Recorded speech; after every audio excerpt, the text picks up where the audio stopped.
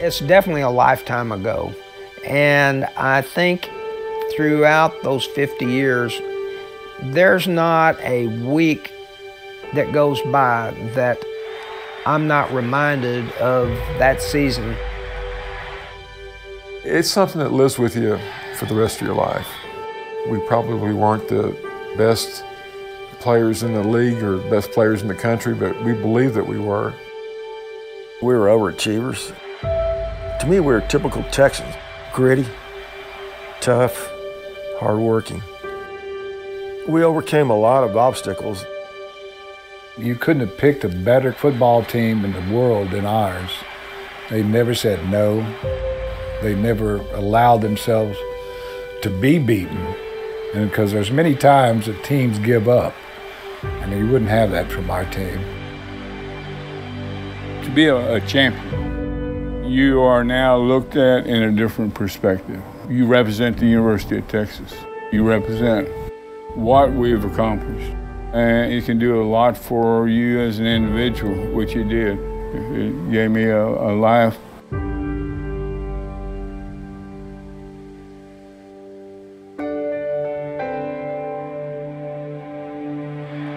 In the early 60s, Texas emerged as one of the dominant programs in college football. From 1961 through 1964, the Longhorns finished in the top five every season and won their first national championship in 1963. After unprecedented success in the early part of the decade, the Longhorns struggled from 1965 through 1967. The worst three year stretch of Darrell Royal's Texas career. They went through three straight years where they had four losses. And in those days, that could get you fired. My dad wasn't just Darrell's defensive coordinator. He was his best friend all of those years. And after the 67 season was over, my mother told me it looked like your dad's going to have to find another job. That's how hot it was. They thought they were going to get fired the doubters were really coming forth, and Coach Royal was being criticized.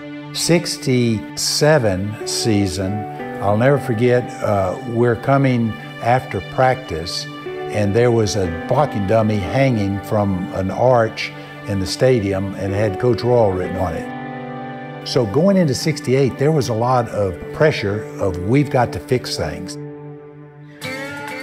He changed his staff and Emory Bellard had come in, and Emory was the offensive backfield coach. Bellard thought running a veer would be a good thing. So Emory took out his yellow pad and he had his pipe and he sequestered himself while the other coaches that summer were out playing golf. He was in his office doodling with that yellow pad. I walked into his office one day and I said, So who's going to start at wingback? Will it be Ted Koy or will it be Steve Worster? Emory said, what if we play both of them? So he took out his yellow pad and he drew a circle up here and a circle right up here. And he put a circle there and then a circle down here. And he said, Worster, Gilbert, and Koy. He said, what does that look like? I said, it looks like a Y. And he said, I think it'll work. That was the beginning of the wishbone. My only question was could we read the defensive tackle? We'd hit the fullback inside the defensive tackle, and you had to read him on the handoff. If he tackles the fullback when you put the ball in his stomach, I said, Emory, can we teach them to read the defensive tackle? He said, Dad, blame right, we can. Oh, this is good chicken. Well, I'm glad you like it. You know, Edith, I have an idea. We had the personnel that that offense was fitted for. He always said that he had three running backs that he needed to have on the field at one time, so he had to come up with a way for all three of them to be there. He was gifted with the guy that everyone had thought was going to be the greatest player in Texas history. Steve Worster came from Bridge City. He was an All-American high school player, was a rough, tough, burly fullback who could run with great speed and power. everything was predicated by the fullback. The quarterback would start the play, but his first read was the fullback. So he was the linchpin. Steve Worster is one of the best football players I ever played with.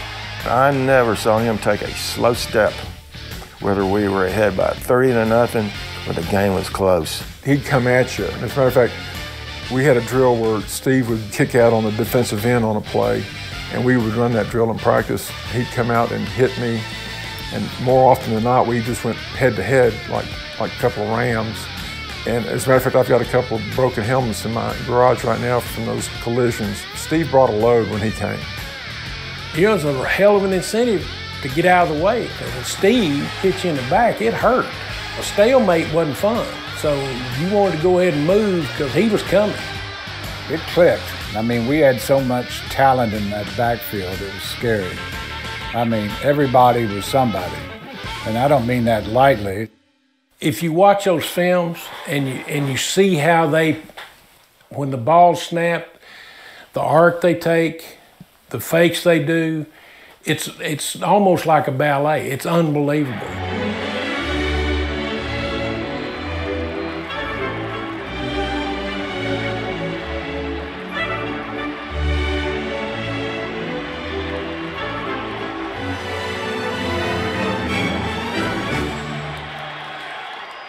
With Worster, Chris Gilbert, and Ted Koy tapped for the three running back positions, there was only one position in the backfield left to fill quarterback. However, unseating the incumbent starter, Bill Bradley, seemed unlikely. Nicknamed Super Bill, he was the guy that everybody could count on to be able to do anything with a football. He could kick with both feet, throw with both hands. He was a god in football. Even uh, on the diving board, he, he could probably been an Olympic diver. And he was the man.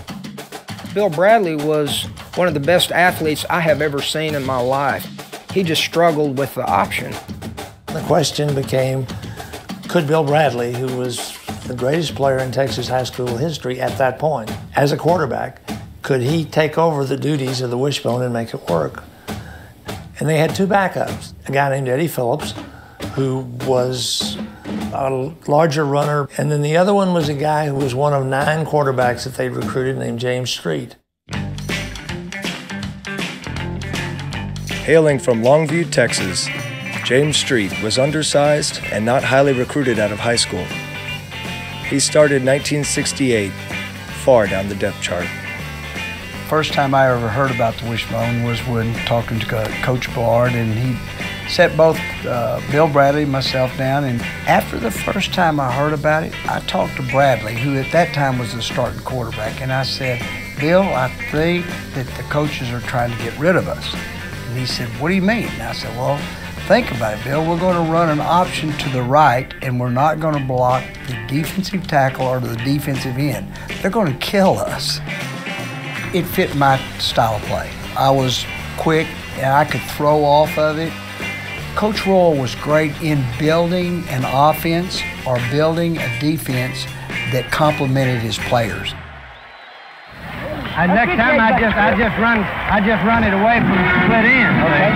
okay. We got a piece of paper. The ball carrier. Okay, coach. We got got something to write on. Where where the, where the glasses? Glasses, Bubba you read the end man. You read the end man. This is what he's saying about uh, this is a basic formation. That this guy is cheated up for our, our 52 bootlegs. See, he's backing in. We've got a player man out around here. That's counter. That is counter. I see this man's out here. He's got us man to man. We can run 88 out. Yes, sir. James Street was the most competitive player that I ever saw. He had a passion for winning. He was just cool. He exemplified the word cool. We all in those years kind of had short haircuts. He had kind of the Elvis Presley type haircut. In fact, picked up the name Slick early on. He would break out, comb his hair back like that, do that stuff right here. It's like having Elvis Presley as your quarterback. He got to be good pals with Elvis. Elvis would call him up in his dorm room.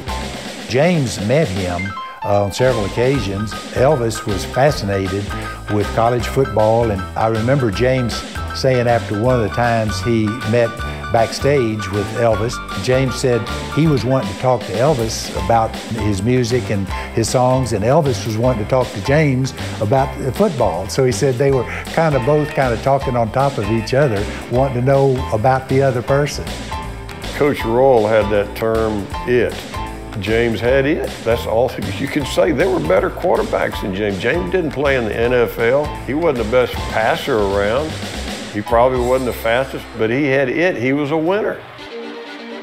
And under Street, they won. After starting the 1968 season with a tie and a loss, Slick took over as the starting quarterback in the third game.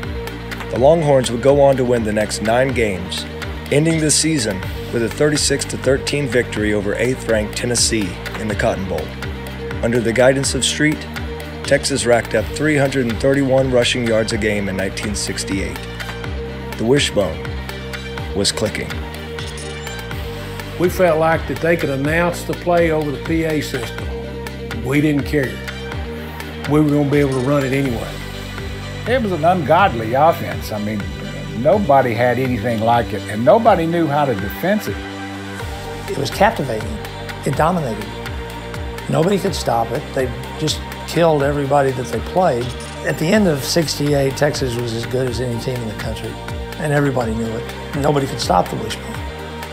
One year after Coach Royal was on the hot seat, Texas entered the 1969 season ranked number four in the nation, behind Penn State, Arkansas, and Ohio State. The expectations were very high for 1969. We weren't really in control of our own destiny at that point. Ohio State was the top team. They'd won the national championship the year before, and they had everybody back. We would like to be the best team in this nation. There's been talk about ours being the best team of the century, and I'm not going to hold our kids back. We thought we were playing for second place anyway, but we still wanted to win every game and win the conference championship and go to the Cotton Bowl. That's all we can do. We just figured that they gave it to them because they had more northern sports writers than, than, than they did in the South. we didn't think it was the case, so we just thought we'd go prove it. Coming up on 1969. They came out on the first play and lined up in the wishbone. They think they're going to beat us running the wishbone. it's hard to imagine today how big of an event it was. Not only for ourselves and our coaches and our university, but for our fans. We weren't going to let people down. I think that's part of why that game was just magical. That's one of those moments that we're destined to win this thing. We didn't make up the plaque in advance. It doesn't say what team, and I'm taking it back to Washington and put in Texas.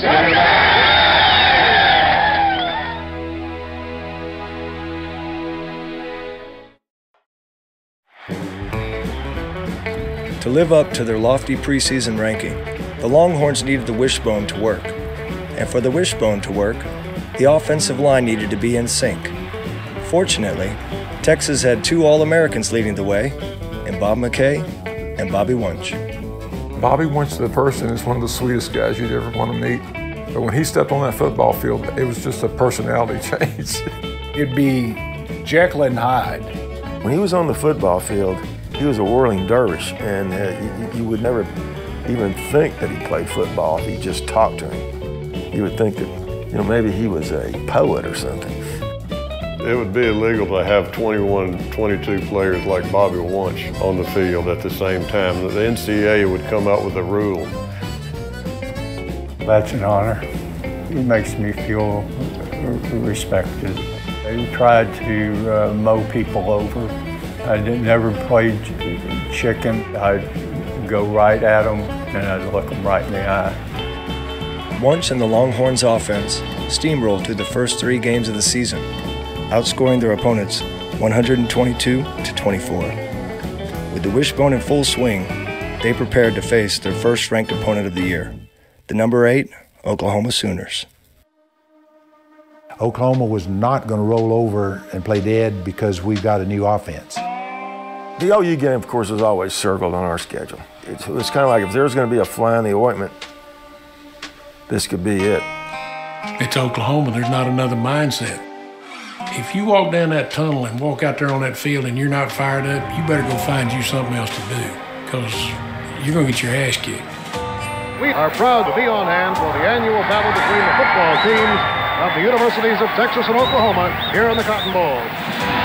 72,000 plus watching as Mildren fakes to Owens. There he goes, all alone.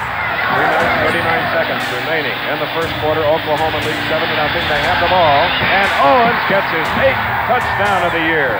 And it's 13 to nothing. Underdog Oklahoma. One of three games when we were went, went behind significantly, and everybody just kept plugging away. I mean, we didn't hang our heads or anything.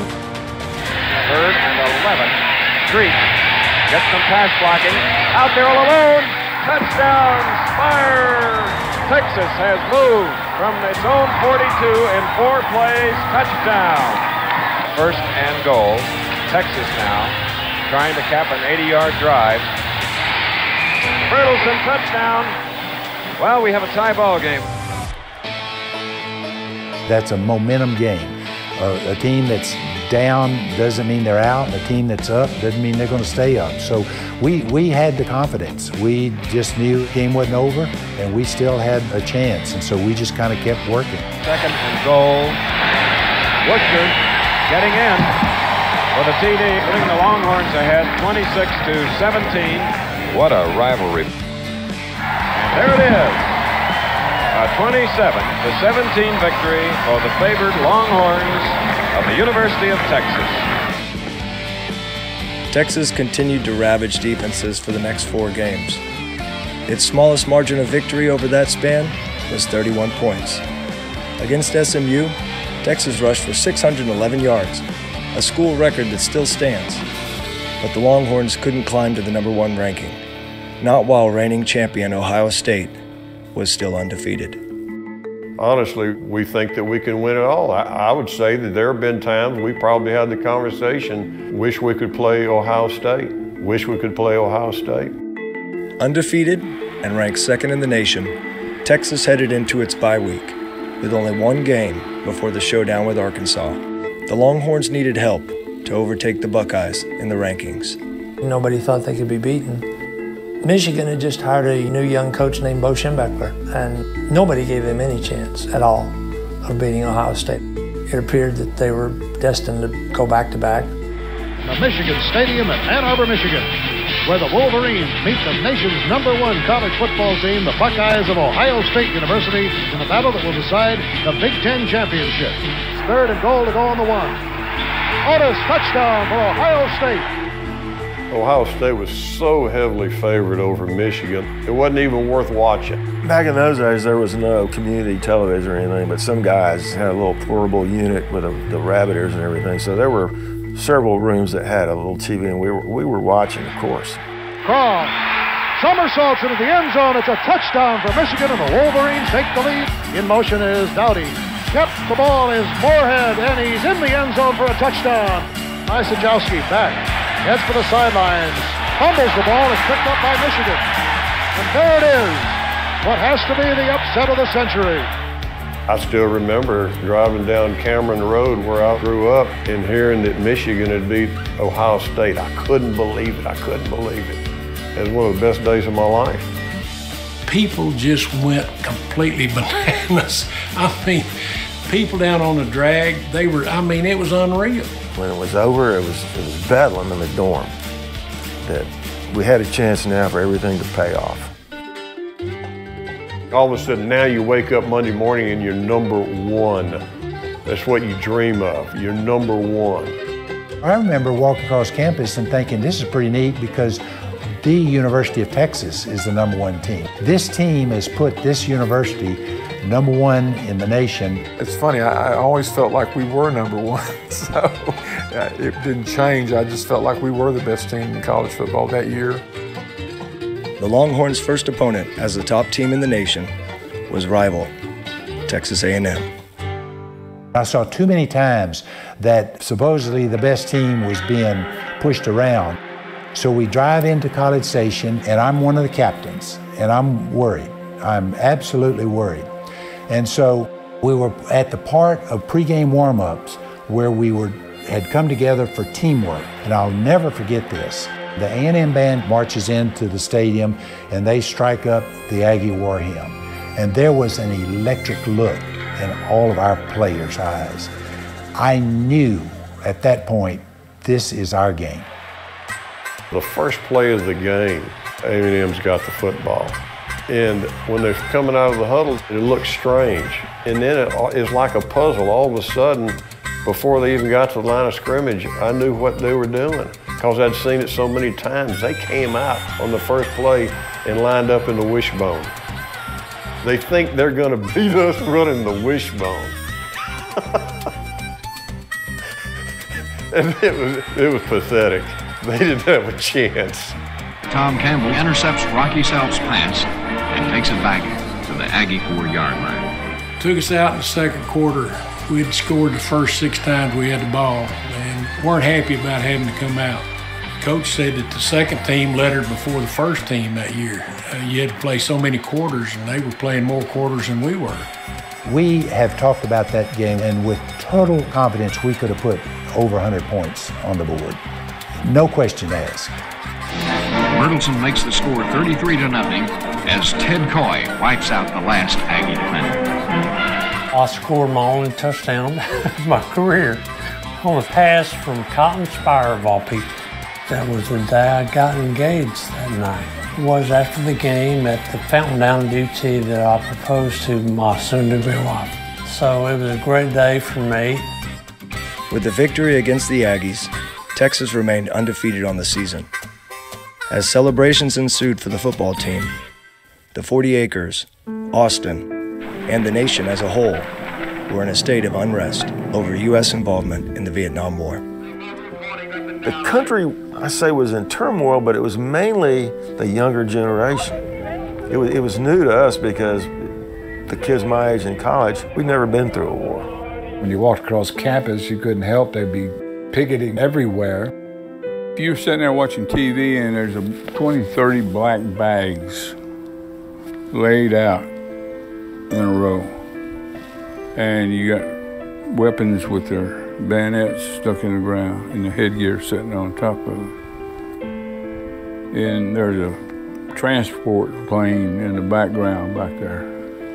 Walking out with a wooden casket and placing the body bag into the wooden casket. How would you feel? They're showing death on TV. They're showing you the number of kill count. And these things were all emotional and it changed the, the nation. It changed the way you felt. Why were we doing this? Why were so many men dying? You always fear of death. Uh, I'm a young man. Uh, I want to raise a family. I want to live life. But then again, you are called to serve your country, and if you got to serve your country, you serve your country.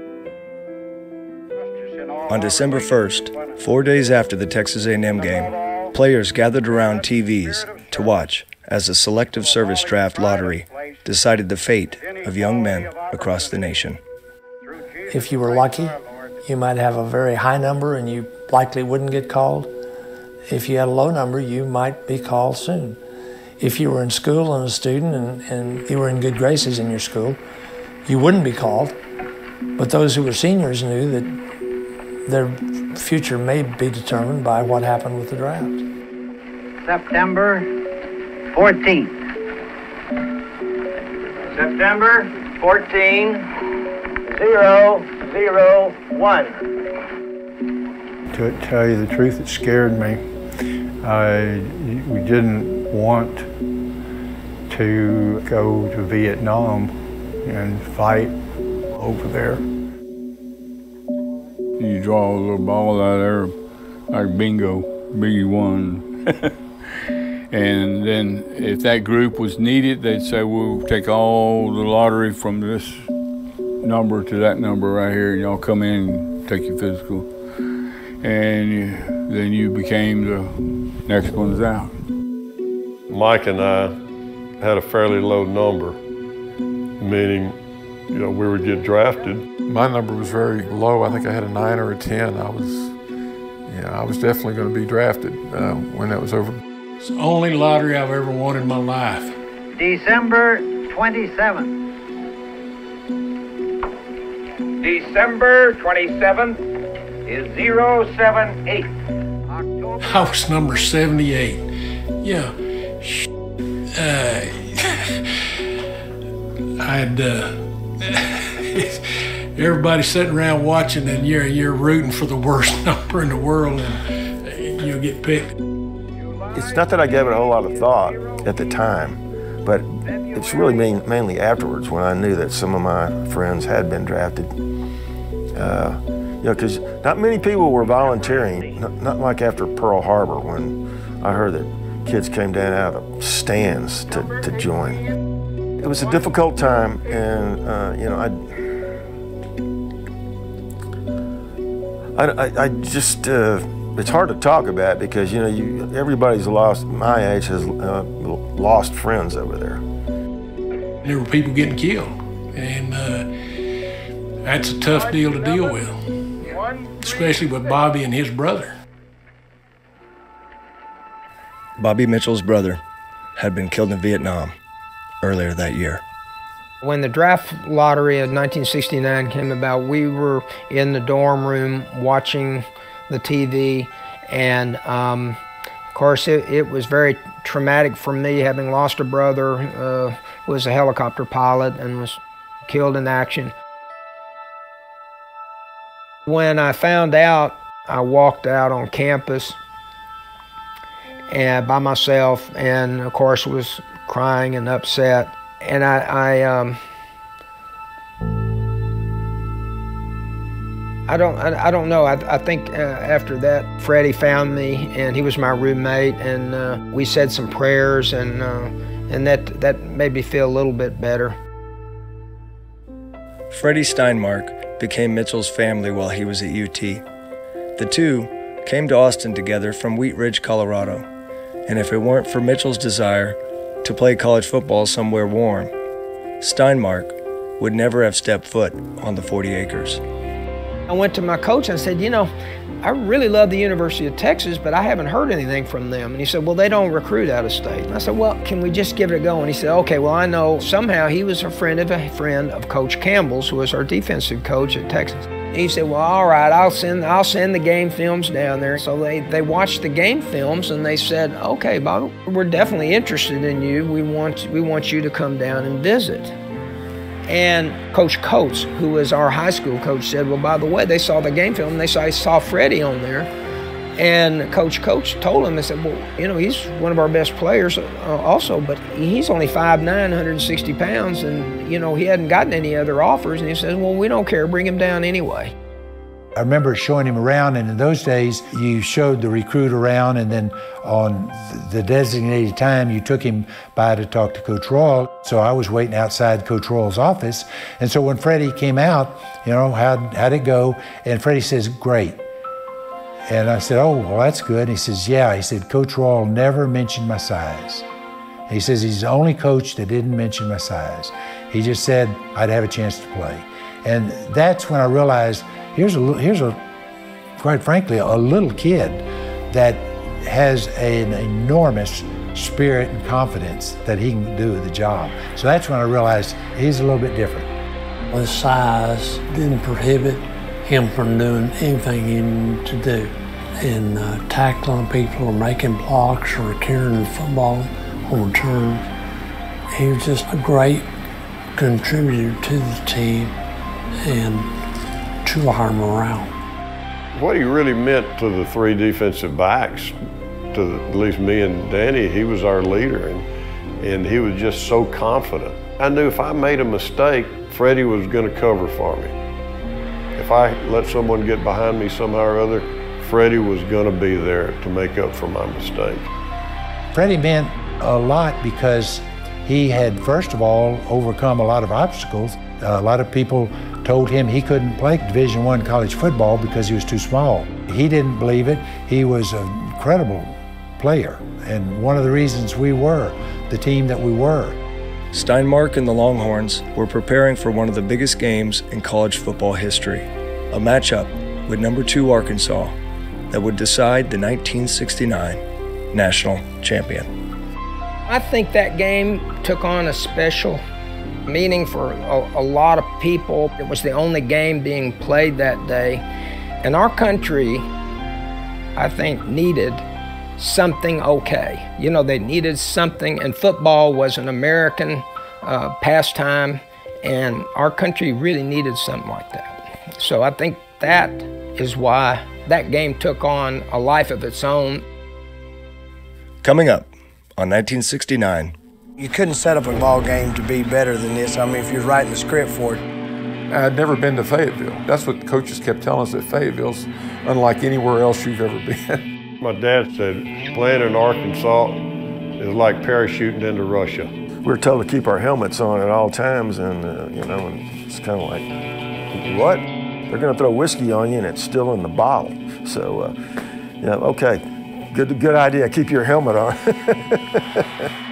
all the media thought that Texas was just going to crush Arkansas, and it didn't happen that way. I said, Coach, are you sure that's a play you want to run? He said, Hell yeah, I'm sure. We all went, What? you know, he said, We're going to throw the freaking ball? You got to be kidding me. He'd already thrown it. I thought, It's way over my head. I'll never catch it. You go from one of the highest times in your life to all of a sudden, here's one of your teammates that's fighting for his life.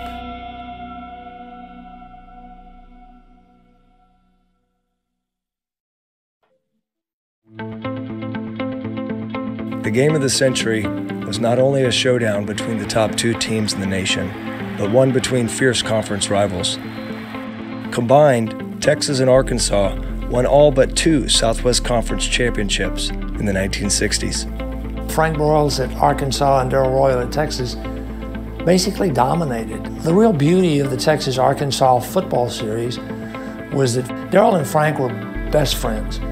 They and their wives went on vacations together. They played each other, so they, they weren't going to talk about football. They loved to play golf together. They were best friends. He thinks I'm better, and I think he's better, so that makes it a heck of a match. it's hard to imagine today how big of an event it was. Because Beano Cook at ABC had had the foresight to move that game, and Darrell and Frank agreed to do it, they had set up a showcase that was unlike any other. There was no playoff. There was no BCS. So when that ball game was dropped into the mix out of the clear blue skies, suddenly they had a national championship game. It was validated because the President of the United States shows up with a plaque to present to the winner of that game. And he says, I'm proclaiming the national championship, which really didn't sit well with the folks in Pennsylvania. As anyone who's ever sipped a glass of beer in the corner pub can tell you, the quickest way to pick an argument is to pick the nation's number one college football team. Well, the White House has jumped squarely into this annual, unresolvable dispute. Tomorrow, the president plans to present a plaque to the winner of the Texas Arkansas game, designating that team as the nation's number one. Not so, say Penn State fans. It seemed easy. He could come to the Texas Arkansas game he could present a plaque to the winner of that game, except there's Penn State hanging out over here. And Joe Paterno and his crowd, they think they ought to be in that mix. So they're wondering why Nixon is there giving the plaque to either Arkansas or Texas. Penn State, also undefeated, had already accepted a bid to play in the Orange Bowl earlier in the season. By choosing the Orange Bowl before Ohio State lost, Penn State passed up the chance to play either Texas or Arkansas in the Cotton Bowl, setting up the game of the century, which would determine the national champion. You couldn't set up a ball game to be better than this. I mean, if you're writing the script for it. The media attention to that game was incredible. You had all the sports writers from all the major papers. You had the New York Times, the Chicago Tribune. All of those people had writers who would come to Austin we were getting into something very, very big. If we, as 18, 19, 20, 21 year old kids, would have understood the magnitude of that game, we'd have probably been injured by the thoughts of how big that was. And then you had the general support. And, you know, that can be summarized by the pep rally before the game was attended by something like 35, 40,000 people. You look over there and the entire side of the stadium is full. You're going, my God. They were wired and inspired. It was unbelievable. I mean, it really got us moving. It just showed us that we had so many people behind us, and it just made us more determined that not only for ourselves and our coaches and our university, but for our fans, we weren't going to let people down. Billed as the game of the decade, Arkansas against Texas. It's doubtful any previous football game attracted so much undivided attention since it was the only game played December 6, 1969. The site, Razorback Stadium in Fayetteville. I'd never been to Fayetteville. That's what coaches kept telling us at Fayetteville's unlike anywhere else you've ever been. you felt like you was going from civilization to another world, and it was another world. My dad said playing in Arkansas is like parachuting into Russia. It was a pretty hectic week for Fayetteville, Arkansas. You could tell something big was going on. It started out when we got off the airplane. We had flown into Rogers, uh, at, uh, some distance away from Fayetteville. We thought it would be safer. Well, somehow somebody found us and spread the word.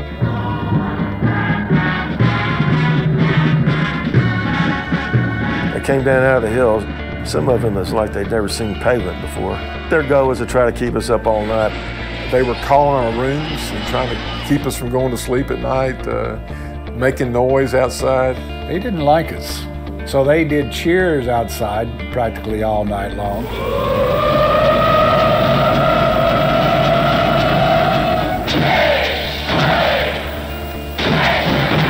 We couldn't sleep real well, which we didn't. Then, when we were on the bus, when we went through Fayetteville, it, it wasn't just a little shoe polish on the windows. I mean, it was red spray paint on the sides of buildings, sidewalks, everywhere. Everywhere we went, all the businesses were closed down. All of them had anti-Longhorn signs on them. I remember going by a drive-in. It had a big sign, it had little barricades. It said closed, gone to Texas funeral. And I thought, that's not just a little clever sign. That's the intensity of the environment we are in. That this is big. This is big. We were told to keep our helmets on at all times, and uh, you know, it's kind of like, what? They're going to throw whiskey on you, and it's still in the bottle. So, uh, yeah, okay, good, good idea. Keep your helmet on. As a crowd gathered around the stadium, another contingent formed at Fort Smith to greet President Nixon.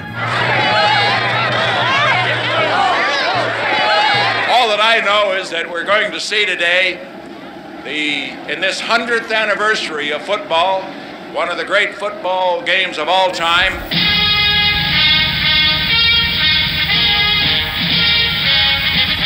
College football celebrates its centennial year. Good afternoon, ladies and gentlemen, and welcome to the game of the year. This is the home of the Razorbacks in the heartland of America, the foothills of the Ozark Mountains. A standing room only crowd of 44,000 are here as the nation's number one team, the Longhorns from University of Texas, are ready to defend their lofty ranking against the number two team in the nation, the Razorbacks of Arkansas. We're awaiting the arrival of a very ardent football fan here in Arkansas, our commander in chief, President Nixon. As the game began, all the media thought that Texas was just going to crush Arkansas. And uh, it didn't happen that way. The wishbone tee in the backfield. A loose ball, and Arkansas has recovered. Fumbles, fumbles, fumbles. We just couldn't hold on to the football. Here's the first Texas pass. Cotton Speyrer and Arkansas intercepts. A fumble recovery and now an interception on the very first Longhorn pass. We'd never had turnovers like this. It gives the momentum to them, to their crowd, and as close as they were to you, they let you know about it. Everything was going wrong. We were confused. I was confused because they changed the defense up. The University of Arkansas was the number one defense in the country, especially at the rush.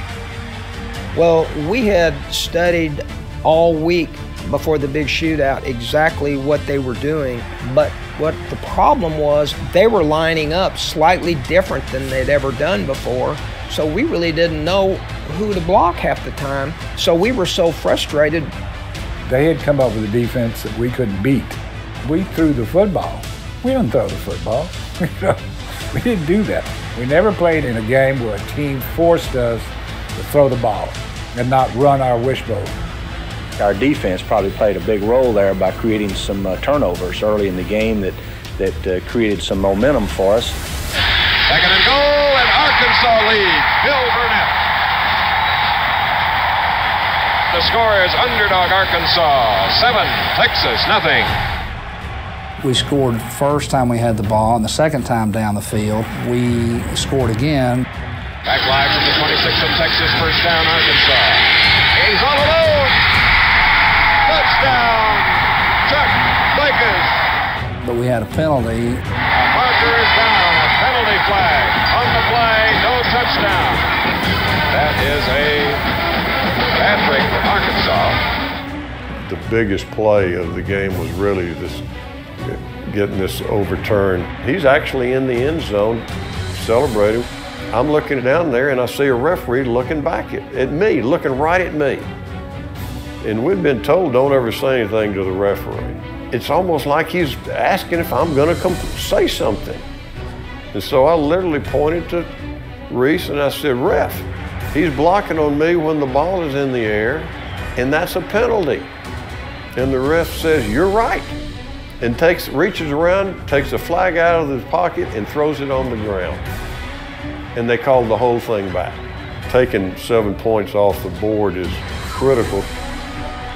Despite three first half turnovers, the Longhorns were only down seven to nothing entering halftime. We were down, but we were still confident. We knew that the next play was potentially the one we needed. We were behind and we knew it, but the game still had time on the clock. This game is not done yet.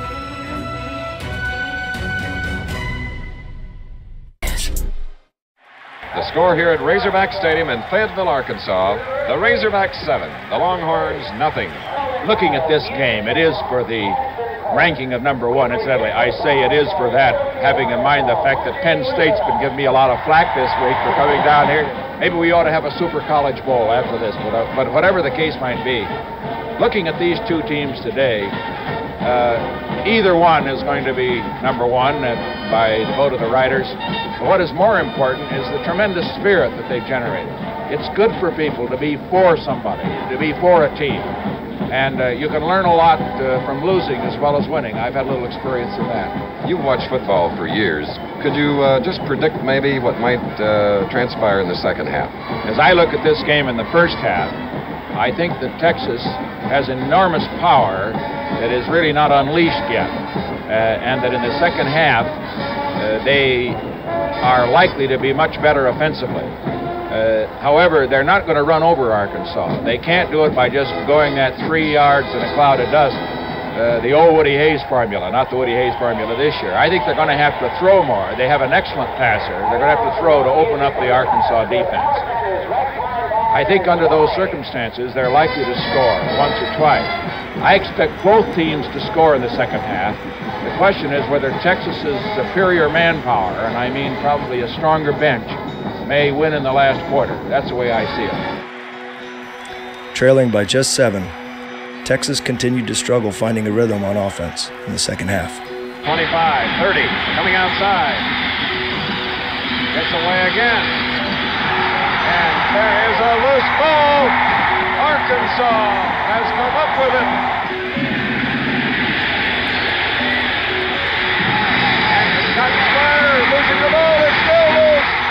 And Arkansas comes up with its third fumble recovery. He's going deep. It's floating out there. And another error by the Longhorns. We were starting to feel like, golly, you know, are we going to be able to pull this out or not? Montgomery. Dicus. Touchdown. The end of the third quarter here at Razorback Stadium in Fayetteville, Arkansas. The score, the Razorbacks 14, Texas nothing. As the third quarter ended, I remember thinking, we're down by 14 points. We better score fast. This is the first time going into the fourth quarter that we're down. It's kind of slipping away from you. You're running out of time to win the ball game. On the first play of the fourth quarter, Texas got a spark. We had called uh, just a little crossing pattern to Randy Peschel uh, crossing across the middle, and, and Bob McKay, being an All-American tackle, missed his block. Start of the fourth quarter, Jimmy Street in trouble. Oh hell, I missed a block on a, on my defensive end. I told everybody I missed it on purpose because I couldn't let Street throw another interception. Gets away.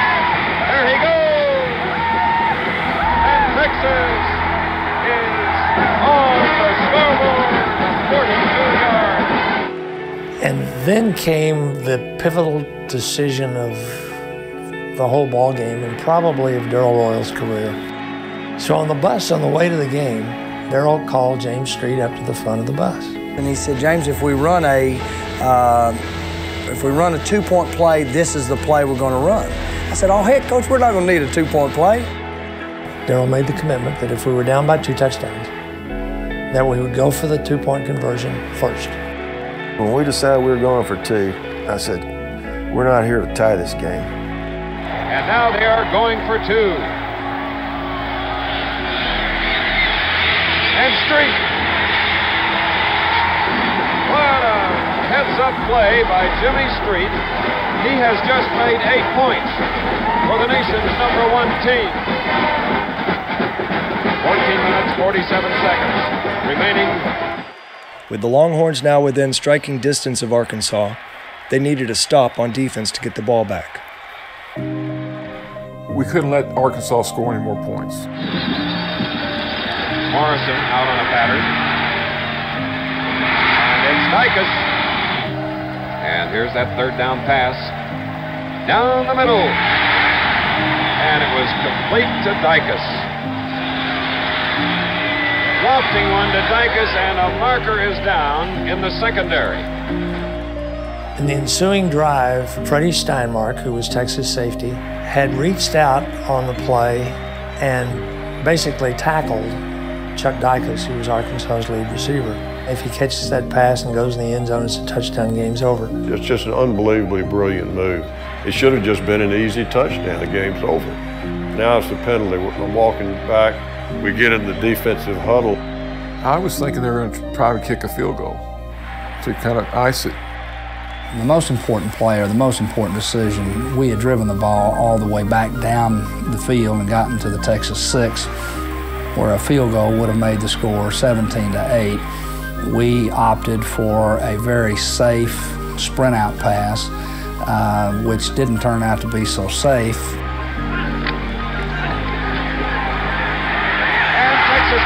Interception. What an interception. Danny Lester, number 23. The interception clearly in the fourth quarter was the, the biggest disappointment. That was the play that really made it come home that we're going to win. When that happened, everybody on the sideline knew that no matter what, if it was fourth and 15, we were going to go for it and we are going to make it. We didn't feel like anything was going to stop us. Texas had a chance, and they got out to the 43 yard line. And then it was fourth and three. With a fourth down coming up in this Southwest Conference battle, 4:47 to go. Arkansas leading 14 to 8. Her face certainly reflecting the team she's rooting for, Texas. We call timeout. James goes to the sideline. All three of us are on the phone, Coach Royal, myself, and Emory Bellard, and we're all talking uh, to each other. And, and Coach Bellard and myself wanted to run a counter option back in the short side of the field. Out of nowhere. And I don't know where he got it, and I don't even know where he thought of the play. Coach Royal says right, 53 veer pass.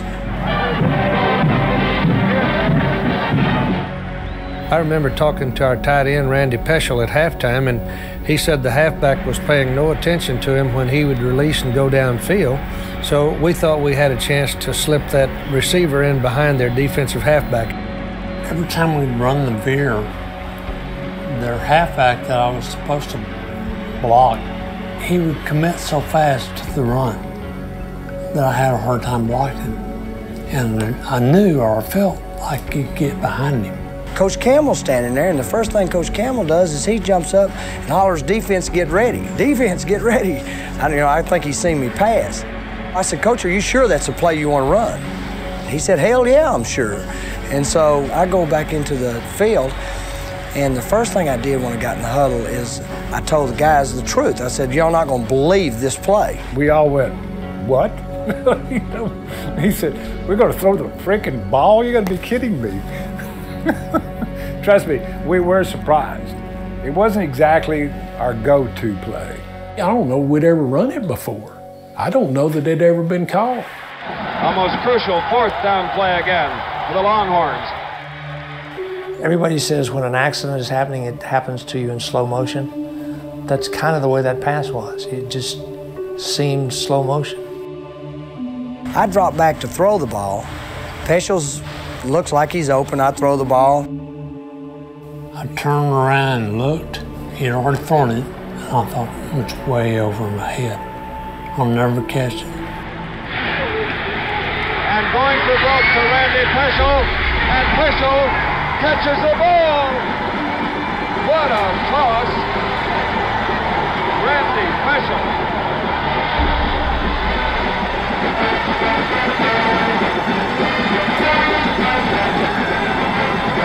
Play carried from the Texas 43 and a half to the Arkansas 13 first down. I remember hands coming up to block it, and they were like this. And the ball went over them, cleared them about six inches. That's all. Came right into my hand. Perfect pass. I remember seeing a cheerleader of ours doing cartwheels on the field, and I thought, hey, we got a first down. Man, it's like opening a box of Cracker Jacks. You have no idea what you're going to find inside sometimes. That was a perfect throw and a great catch, and it took exactly that. There were six hands up in the air. Only two of them belonged to Texas, four of them belonged to Arkansas.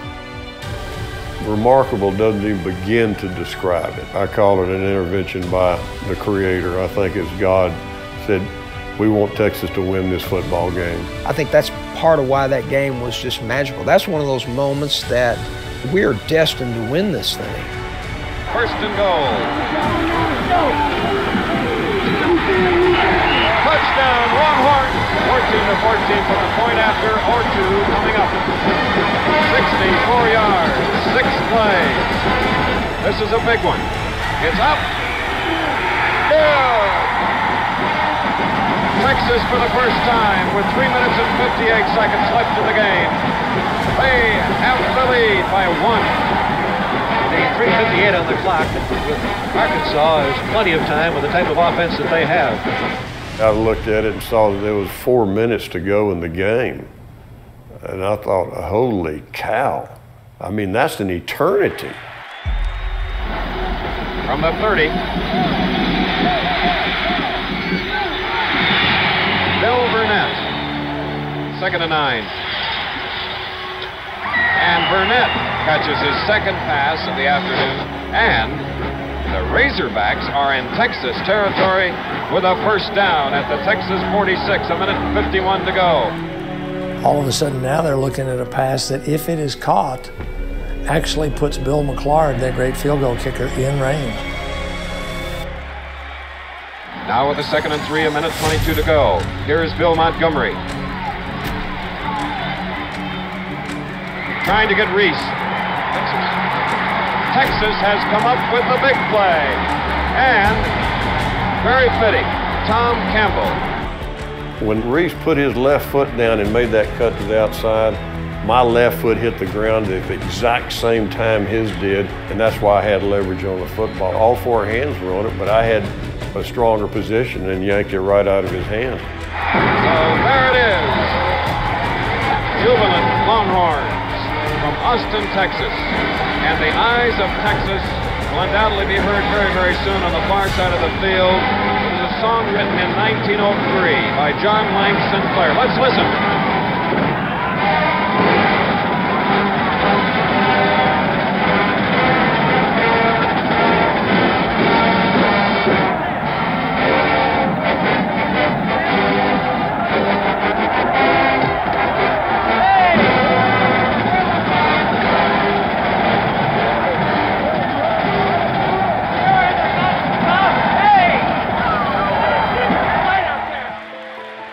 We go into the locker room, and I think it was gradually wearing onto each of us as individuals that we are now the national champion. Here in the dressing room, as you can see, it is absolute madness. Longhorns have come on in, raising their hands, number one, hook and It was crazy. Even Coach Royal, which I've never seen him so animated in my life, but he was hugging players.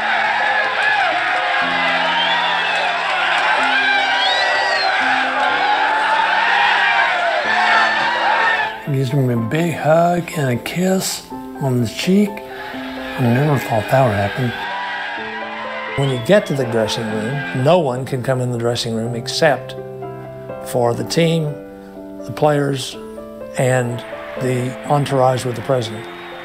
Because President Nixon is coming to give the plaque to the winners. How do you feel? I'm, um, I've got to be the happiest guy in America tonight. Presenting this plaque, I, I want to say first that the, the AP and the UPI will name Texas number one, as we know, uh, after this game. And uh, this is a great honor in the 100th year of football.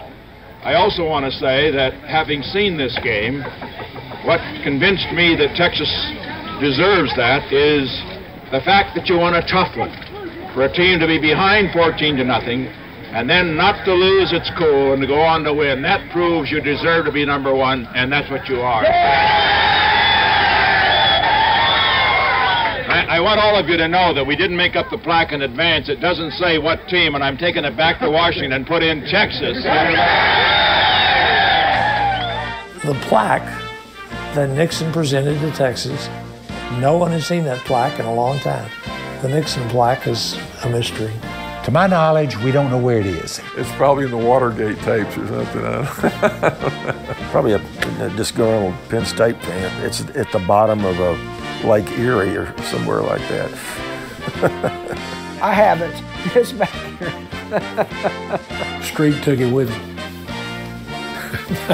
I don't know how that's the first I'd ever heard of that. There's no telling. But I'd blame it on James. We leave the stadium, go out to the airport, get on the airplane, and people are going uh, crazy on the airplane still. We, we're, I'm talking on the loudspeaker, and we're, we're I mean, everybody's having fun, and, and uh, then we fly into Austin, and as we fly into Austin, I, they let me sit up in the cockpit of the, the plane and watch us come in and land. But what was amazing is the number of people that were at the airport. In those days, you didn't have the security at the airport like you have today. And when we got back home, there were 10,000 people on the runway. They had gotten through the airport and had just come out to meet the team. It was, I guess, like a rock concert or something that you'd see later on, you know, with the Beatles or somebody. These, these people just broke through these barriers, and we're watching them, and the pilots are afraid because they're running, just storming toward us. The fans were trying to come up inside the plane. The next thing we know, they've almost torn it off. Austin came out to, to meet us that day. That was fantastic. People are going crazy. I mean, down on the drag, you couldn't drive. The people swinging from the, the lights over Guadalupe. They said immediately after the game, the, the, the drag filled up with people, including policemen. And they, they said the policemen were drinking beer with the, with the, with everybody else, but it, everybody was just partying. It was, it was celebration time.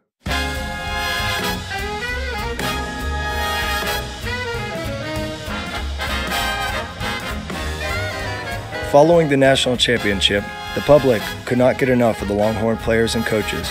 They were stars, with some of the team even flying out to New York City for media appearances. Steve and I went to New York. I were on the Bob Hope special. Bob McKay, University of Texas.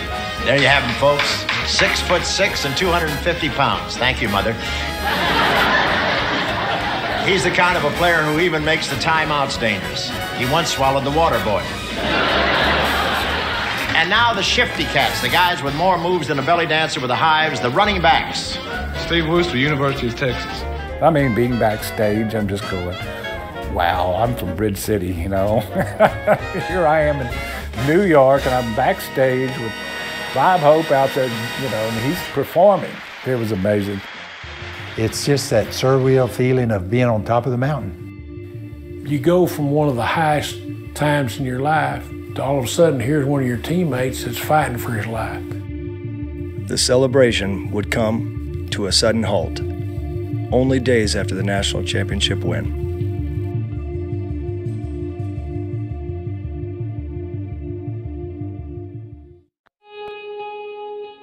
Three days after the victory over Arkansas, Darrell Royal and his three captains were in New York to receive the MacArthur Bowl trophy. We're national champions. The three captains went up and we were at a reception, and Coach Royal called the three captains together in a little side room, and that's when he told us. Coach, he was very businesslike. He didn't use a whole lot of words. It's really simple. I'm depending on you to represent our school. And at the same time, guys, this is a crucial situation, or I wouldn't be leaving you to go down there.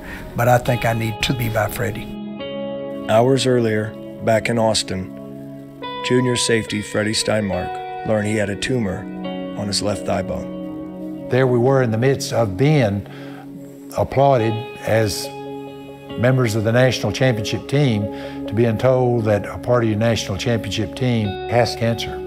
So, in the course of a couple of days, you go from an indescribable high to an indescribable low. I was talking on the phone to Dr. Joe Renault, who was our team doctor. And uh, I could tell he was down, and he said, Freddie has bone cancer. And I didn't know whether you meant Fred Akers, the assistant coach, or Steinmark. I couldn't imagine Steinmark. This is a vivacious young kid who's got his entire life in front of him. And I said, My God, can you save him? And Joe said, I don't think so. It was just so startling, so shocking. I'd never even heard of cancer. And to hear Coach Royal say, Freddie's in the fight for his life. There's no way to prepare yourself for something like that. It was like, is this for real or is this a dream? Or you know, it, it, it was it was just so shocking and we were totally unprepared for it. All of a sudden, here's one of your teammates that's fighting for his life. And one of the nicest kids you'd ever, ever want to know. He was absolutely a prince among princes.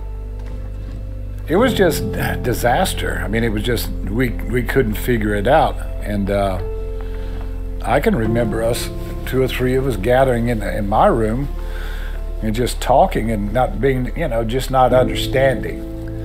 And I said, you know, I believe in God, but I just don't understand what God's doing. Why would He do this to him? Very few people even knew how much pain he was really in. I did because I saw him rubbing and, and aching and, and rubbing it at night, and, and that's when it bothered him the most. They took him to Houston, to MD Anderson, which was the best cancer hospital in the world at that time. And they told Freddie when he went into the surgery, said if it is malignant, they're going to amputate his leg. It was really a tough, tough thing going in to see Freddie because he, he was a tough little guy and he was sitting with his legs crossed up in the bed in the pajamas. And just he and I were in the room. And he said, Coach, he's looking right at me, just, I mean, hard looking at me. He said, they, they don't tell me much. He said, I know they've told you, and I know you won't lie to me. I said, What is it?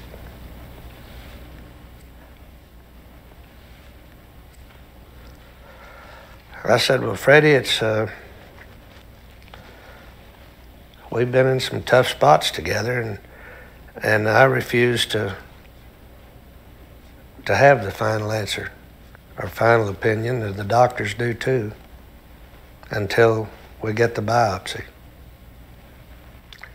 So I figured if the doctors didn't tell him, that I shouldn't. When the surgery was over, we heard his mother scream, you know, uh, out loud when obviously it was bad news that they had, in fact, amputated his leg.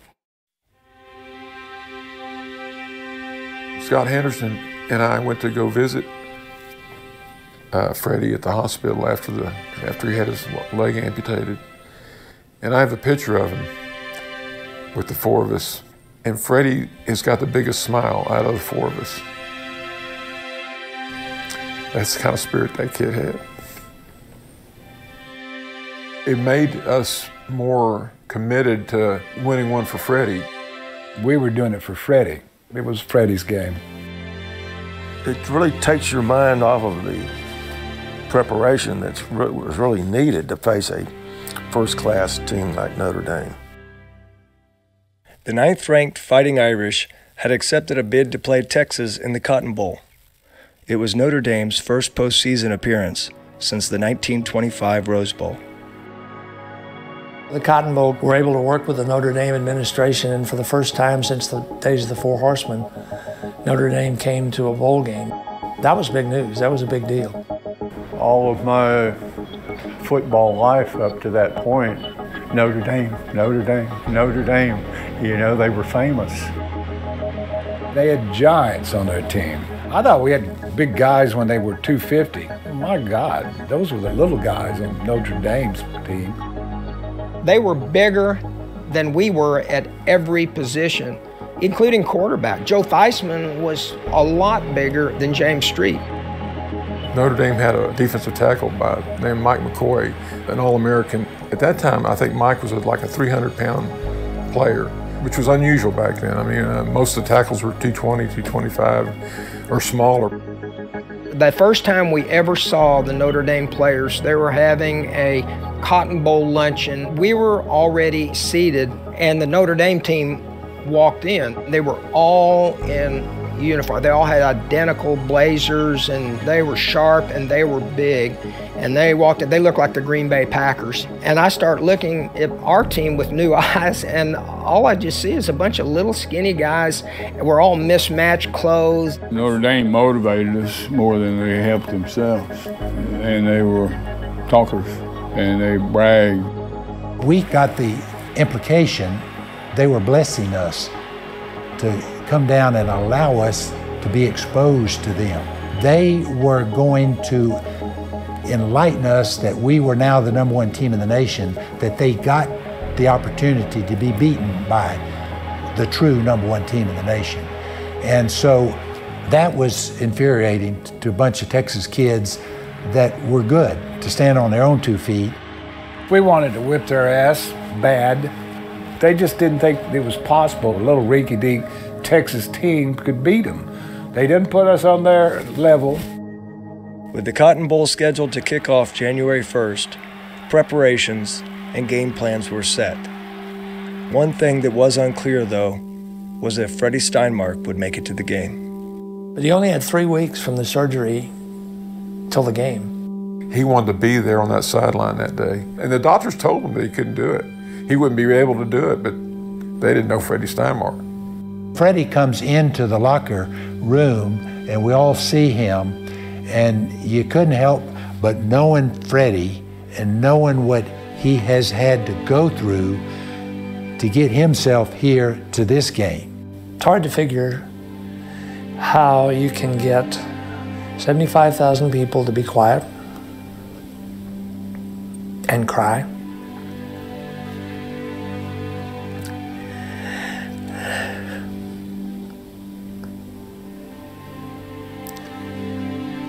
But somehow, when Freddie Steinmark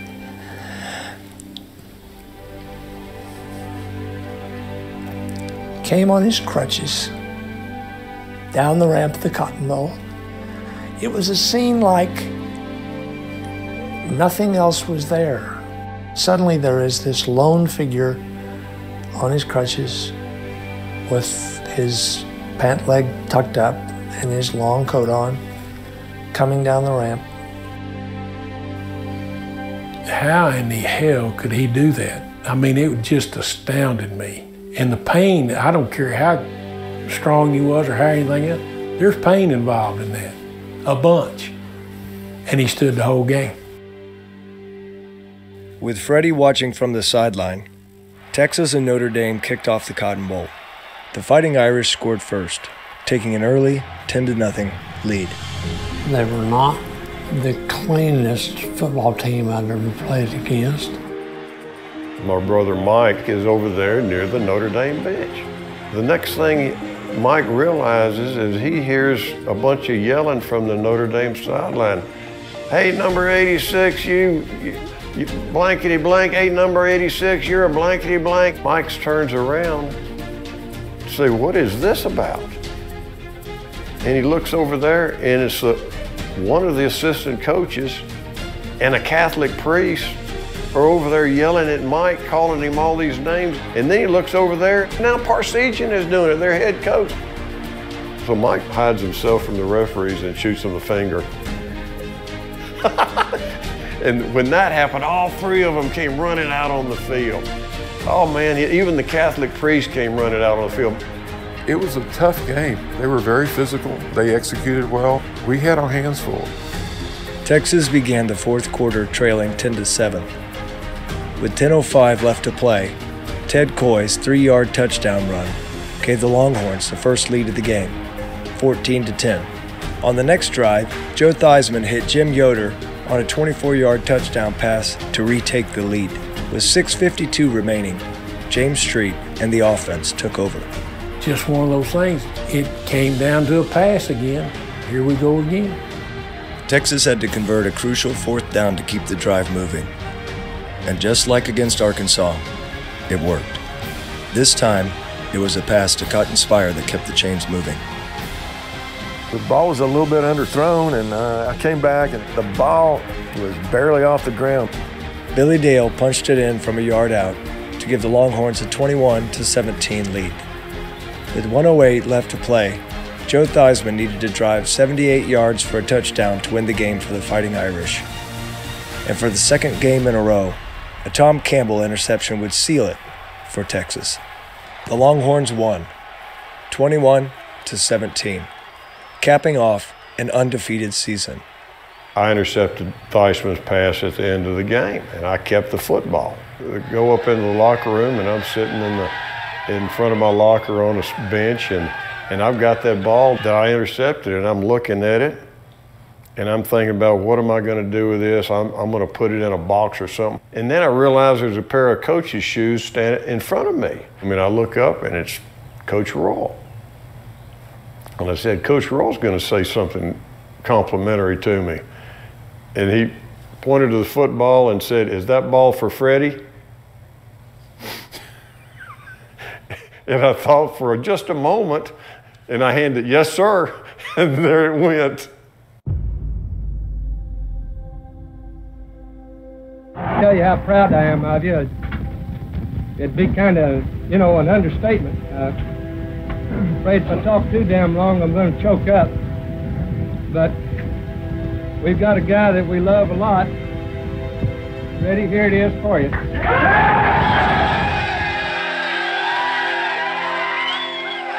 They wouldn't dry in that room. That meant won than national championship. I can't think of anything else we could do for Freddie that would say more about how much we loved him. Freddie, I think, to all of us who knew him, meant courage. To know the likelihood of your fate and still be strong enough and brave enough to walk toward it, not run away from it. I think that's what he meant to us. He was bigger than anyone because he was a little guy whose heart never gave out. The strongest muscle in the human body is the heart, and it is the last thing that it ever gives out. And it will keep beating as long as it possibly can. And we all knew from what we had seen from Freddie that the last moment in Freddie's life would be that final heartbeat. And that one heartbeat capsulized everything that I think Freddie stood for. Despite Penn State's opposition, Texas finished the season the consensus number one team in the country, according to all major polls.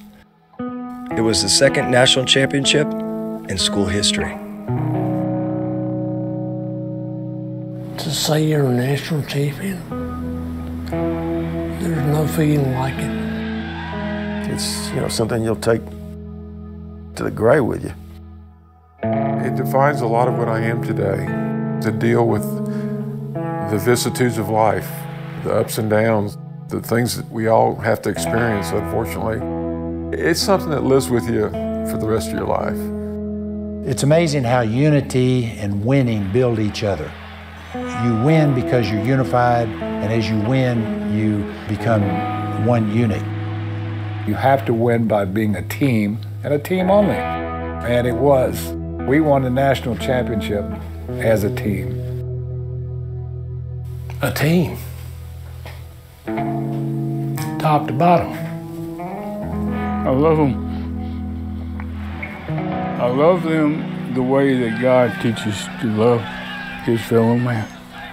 And I feel like I'm a part of them. To have that kind of success is just so rare. Other than your wedding day and having children, there's nothing really that can compare with that. To be able to get through all that, to have that experience in your life is just very unique and it's something that you just can't take away from forever.